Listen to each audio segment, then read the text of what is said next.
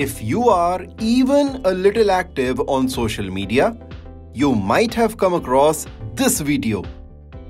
But let us warn you, this is not Rashmika Mandanna. This is a fake video and even the actress has now reacted to it.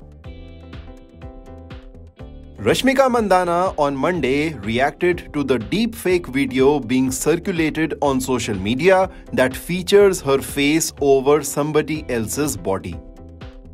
Rashmika said that she was hurt and wanted people to address this as a community before more people get affected by this.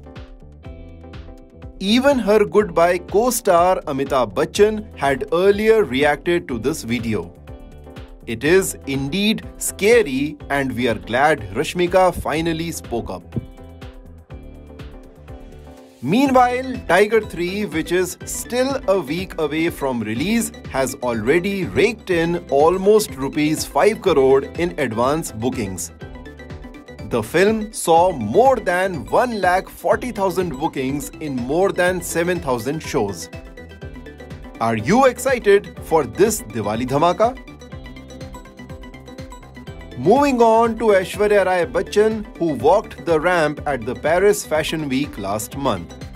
But instead of being supportive, many people blasted her with negative comments and unwarranted trolling.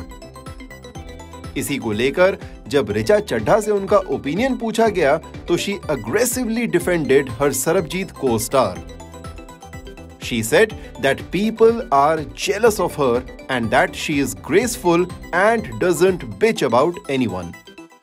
जलते हैं लोग उनसे। और क्या? कद्दू जैसी शक्ल लेके सबसे खूबसूरत महिला है वो हिंदुस्तान की हिस्ट्री की आज तक की। और मुझे लगता है बहुत डिसिप्लिन है और वो काफ़ी ग्रेसफुल है। Richa added how the opinion of Chintu from Chandigarh should not affect anyone as people can say whatever they want to. Netizens have gone gaga over Richa's clarity of thought and no nonsense attitude.